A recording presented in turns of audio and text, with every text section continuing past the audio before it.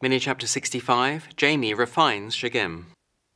Regarding his recent plan to pull the incarnated Kim and Shigem back into the computer for a final quick code tweak, Jaymi recalls how clear it then became, there on the slopes of Hercules Drive, that Kim's existing balance and complexity were already quite sufficient not to need any such finishing school, thank you. But in the case of Shigem, so much will the world want to target this joyously gay beast, warm and loving and open as he is, that a smidgen of refinement may be beneficial in tempering him into greater strength for the hurly-burly of combating the guy score, hunk or gross newsfeed. So Jaymi rises from his desk, crosses his study terrace, peers down over the railings to where Shigem is sunning his slender body beside the swimming pool, and summons him up the exterior flights of steps. Once inside his creator's study, Shigem is at first apprehensive at being informed he must now return through the monitor he emerged from.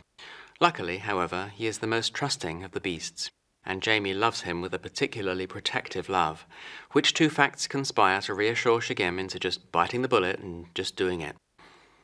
In through his creator's monitor he climbs, therefore, and within moments Jaymi has switched into code view, displaying all Shigem's ones and zeros in their quite paralyzing beauty of digital dryness, there once again upon the same screen where he first started shimmering into existence.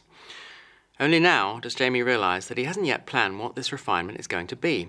Perhaps he should have done. Oh well, he'd better wing it. Okay then, so, first, ascending a forest path, Shigem is the only one to see a magically beautiful and unexpected bird. Away to the left, amid the undergrowth. Fluffy in the sunlight, it looks across at him. No, hold on. Well, all right, the bird can remain in him now and fly wherever its pleasures may take it. However, wasn't the whole point of this refinement to strengthen Shigem by equipping him with resources of a different kind from those he possesses already? Okay then, what new resources can he be given? Well, let's see. Amber's strength, derived from something metallic, Kim's from the emotional intelligence of his intellect, and Evelyn's from an animal joy of ease and freedom within. But none of those feels like the right origin for this beast's strength.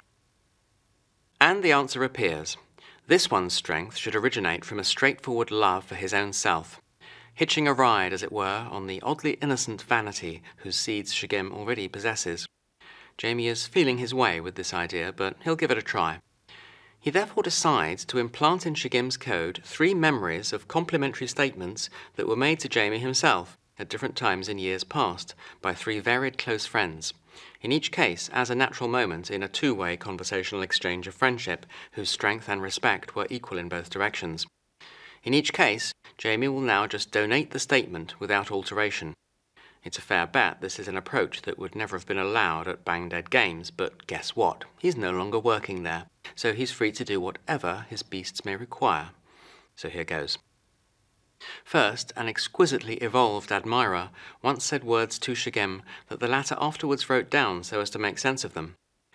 I felt faint in looking round your room for the first time, in ecstasy, walking on air, being tranced, being in magic that someone could do and be all this, that you existed. I was blinded by the dark light you shed, which mattered more than anything else in the world to me. Secondly, an unusual admirer once said words to Shigem that the latter afterwards wrote down for the same reason. You lay claim to and identify with whatever and wherever you are, thereby preventing those things from being ephemeral or meaningless and making yourself irresistible to others. You've made being yourself into a fine art, You've committed yourself with such strength and passion to being yourself in every way possible. It's fucking irresistible.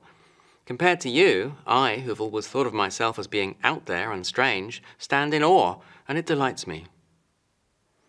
And thirdly, in reply to the question, should I show more vulnerability, a perceptive friend once said words to Shigem that the latter afterwards wrote down for the same reason also. You do show it already, and it's where you may not expect it in your absolute self absorption. You're the most innocent narcissist I've ever met, and it's heartbreaking. At least I find it so, because I see you as this incredibly beautiful being who is nevertheless doomed to die like everyone else. There, the code is added, for whatever it may do.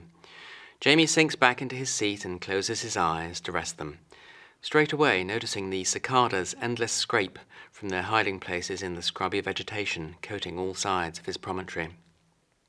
He's not sure what effect that trio of memories will have on Shigem, but the truth and seriousness of them can't do too much harm and may do right. So be it. Job done. But things never do coast into quite such a smooth finish when it comes to this particular beast, as Jaymi has already experienced. For now, Shigem pipes up with one more thing. Oh, and Jaymi, as a nightclub DJ, I can quite understand that you don't do requests, as it were, but I would just like to say there was such an annoying, bellowing cow in the supermarket today who I could have so done without. Could we maybe get rid of her, do you think, just while we're down here at code level? She gave me a headache. His creator smiles in relief. There's the innocence in Shigem's self love, still intact. Sorry, Shigem, but the bellowing cow remains. She's part of the deal. Because you know, honey buns, it's not all about you. Most of it's about you, I admit, but not quite all of it.